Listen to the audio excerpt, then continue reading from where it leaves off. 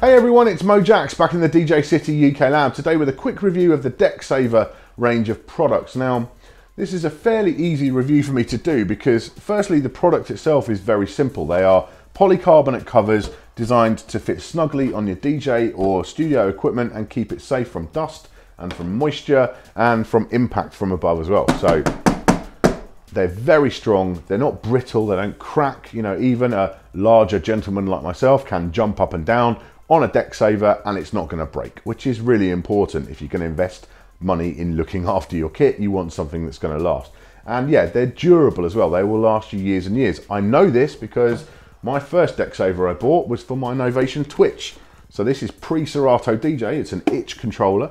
And yeah, still on there now, protecting the faders and the knobs. And I used to carry it in just a record bag with the deck saver on it and it's still doing the job to this day. Fantastic.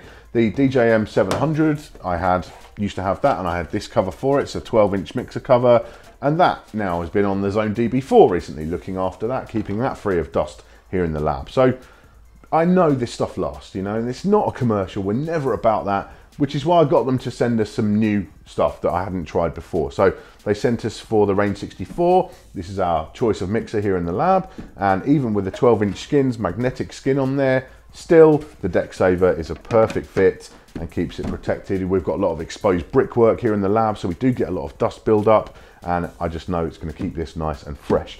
They sent us the ones for the CDJ 2000 Nexuses as well. I've seen these around in UK venues loads, you know, because they are, that's the ideal situation for them, you know, very dusty, very moisture rich environments. You want something that's gonna keep that stuff protected when it's not in use. And so the deck savers are a perfect fit for those.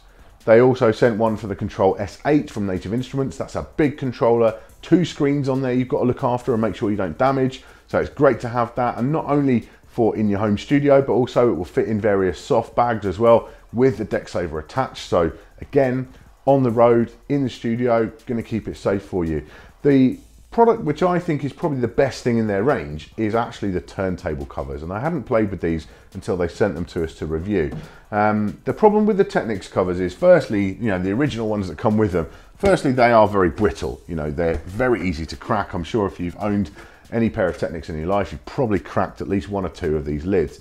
And, you know, so that's not good. But also, they have a big hump on them. Now, that's an issue if you're trying to use the turntables as a stand in a crowded booth. Now, firstly, you should never put anything, of course, on a turntable that doesn't have a, a, a, lid on it. You know, that is just a crime and should be punishable by death, probably. I've seen all kinds of things put onto a naked turntable. I've seen laptops placed on it. I've seen CD wallets draped over the tone arm and stuff like that. And it's like, yeah, get out.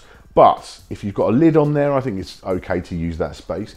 Um, but the one with the hump is a problem because if you've got a large controller, it's really tricky to get that fitted onto a turntable. The DeckSaver one is a lot taller. So you've got a bit more height on there and it means you've got a flat surface on the top there. So both sides of the deck are flat, it means you can put a controller or even something like a CDJ on top of the turntable. You're not gonna damage the turntable underneath and you've got a flat surface to work with. You could even have two of them either side of the mixer and run a big controller right on the top of the two.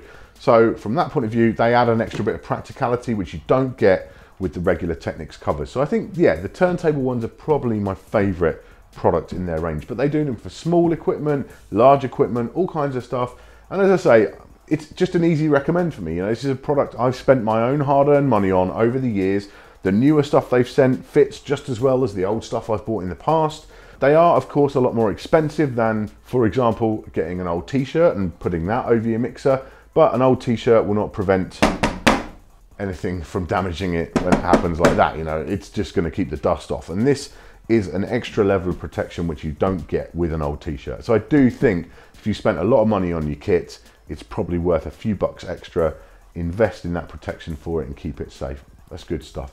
Thank you very much for watching today. Make sure you subscribe for all our future tips, tricks and product reviews.